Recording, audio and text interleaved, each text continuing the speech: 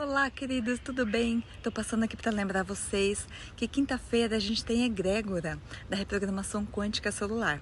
Ela vai acontecer da 1h15 a 1h45 e durante esses 30 minutos, eu e o Wallace Lima, meu esposo, a gente envia a frequência vibracional da RQC para todas as pessoas que estiverem ali participando com a gente da egrégora.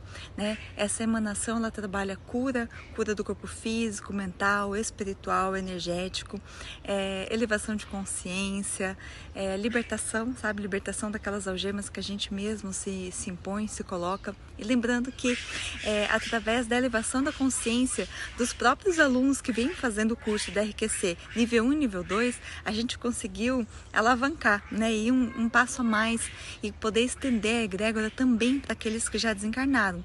Então, se você quiser colocar também o nome dos seus familiares ou de pessoas, entes queridos que já desencarnaram há pouco tempo, há muito tempo, não importa importa, ou até mesmo os animais, porque a gente também trabalha com a cura dos animais, sejam quais forem, gato, cachorro, cavalo, enfim, estando aqui, ou se seu animalzinho já está aí no céu dos animais, tá bom? Então a gente espera vocês e vai ser um prazer participar aí junto com vocês desse egrégora mais uma vez.